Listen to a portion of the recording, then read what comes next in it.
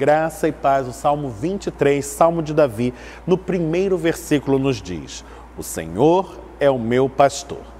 Quando encontramos em português a palavra Senhor grafada com letras maiúsculas, temos uma ocorrência no original hebraico do nome de Deus, que o judaísmo evita pronunciar a todo custo, substituindo por expressões como Adonai, que significa Senhor.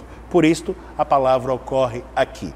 O salmista está evocando a realidade de um pastor, alguém que protege o seu rebanho, que provê o seu sustento, que dá a este direção.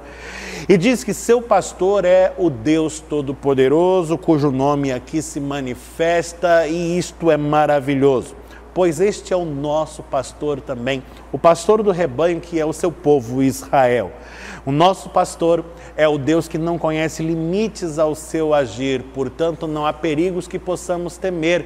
É o Deus que tudo pode, portanto nenhum bem há de sonegar aos que são seus.